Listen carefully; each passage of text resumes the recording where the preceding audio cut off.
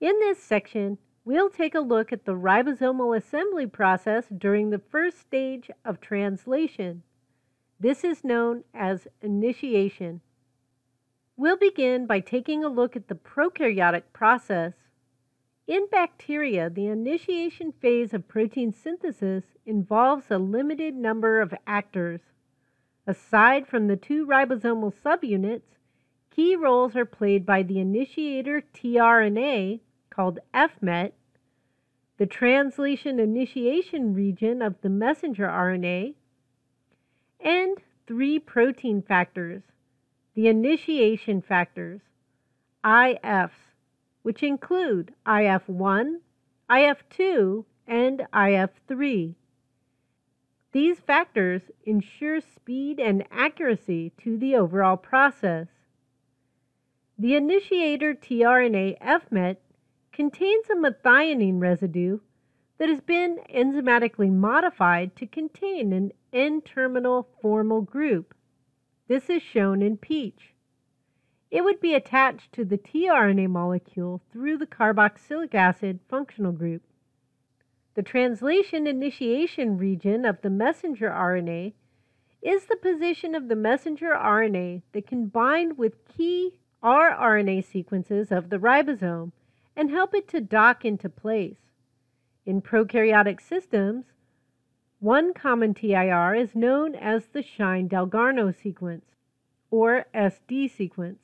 The SD sequence, when present, is usually at an optimal distance of 4 to 9 nucleotides upstream of the starting position. This helps to position the messenger RNA at the correct location with the ribosomal subunits. The three protein initiation factors, IF1, IF2, and IF3, determine the kinetics and fidelity of the overall initiation process. The three IFs are bound one copy each to specific sites of the 30S subunit, where they assist with the formation of the initiation complex and the assembly of the 70S ribosome. To form the 30S initiation complex, IF3 and IF2 are the first factors to bind to the 30S subunit forming an unstable 30S IF3 IF2 complex.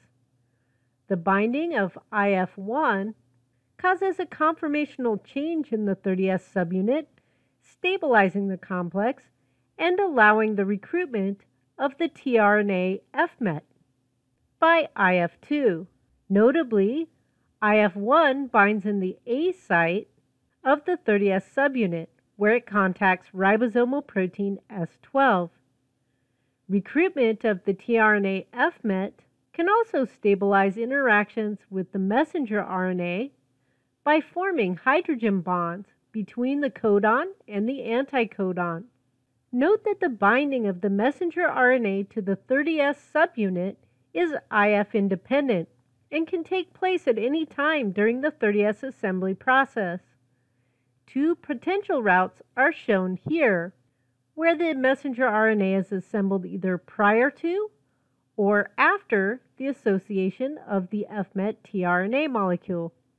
Following the recruitment of the FMET tRNA and the messenger RNA to the 30S subunit that is loaded with the IF2, IF3, and IF1 initiation factors, the 50S subunit is very rapidly docked to yield an initially unstable 70S initiation complex. It should be noted that the IF2 protein is a GTP hydrolase enzyme and, as such, binds with the cofactor GTP. Prior to the recruitment of the 50S subunit, contact between the IF2 GTPase activating center with the 50S subunit causes the hydrolysis of GTP, forming GDP and PI. The formation of the 70S complex causes the dissociation of the initiation factors. IF2 is the last to leave the complex. It leaves the ribosome after having positioned the tRNA FMET in the P site of the 70S initiation complex. it must be placed in the correct orientation to facilitate peptide bond formation. GDP and PI also dissociate from the complex with the removal of IF2. This is the final step of the initiation pathway, and the elongation process is set to begin. Eukaryotic translation initiation is more complex than the prokaryotic systems and requires the actions of at least 11 different eukaryotic initiation factors, or EIFs, plus additional auxiliary factors. We will not cover the action of all of these EIFs in detail here, but rather focus on a few key steps. This is a simplified diagram of a eukaryotic translation initiation detailing some of the EIFs involved in the process. EIF2 is critical for recruiting the initiation tRNA to the 40S subunit. EIF3 enhances the activity of EIF2 and also promotes the binding of the 43S pre-initiation complex with the messenger RNA. EIF3 binds with the messenger RNA through its interaction with the EIF4 cofactors and causes the scanning of the pre-initiation complex down the RNA to locate the AUG start site.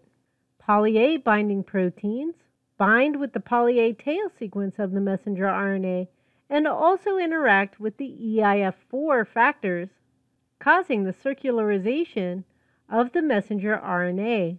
Assembly of the large subunit of the ribosome will then ensue. Similar to the prokaryotic messenger RNA sequences, eukaryotic messenger RNAs also have ribosomal binding sites. The most widely known is the Kozak sequence.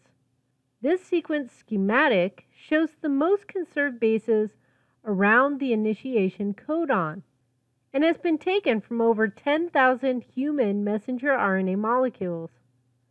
The larger letters indicate a higher frequency of incorporation.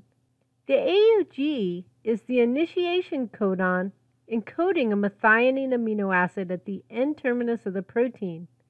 Rarely, GUG can also be used as an initiation codon, but methionine is still the first amino acid as it is the MET tRNA in the initiation complex that binds to the messenger RNA regardless of whether it's an AUG or a GUG. In the next section, we'll take a deeper look at the elongation process or the second phase of the translation process.